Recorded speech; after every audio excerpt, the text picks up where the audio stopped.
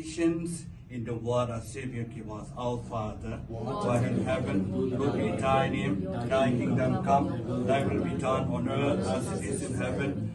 Give us this day our daily bread, and forgive us our trespasses, as we forgive those who trespass against us. Lead us not temptation, but deliver us from evil. Amen.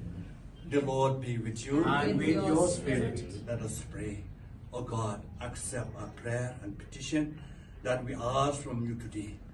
We start with your mighty power, O God, so that they may experience your loving kindness, your loving protection and blessing. Be with them always, starting from today itself. May they receive your blessing abundantly upon themselves, upon our state of Meghalaya. We ask this through Christ our Lord. May Almighty God bless you, the Father, the Son, and the Holy Spirit. Amen. Wish you all the best. Thank you. All the best. All the best. We have prayed. We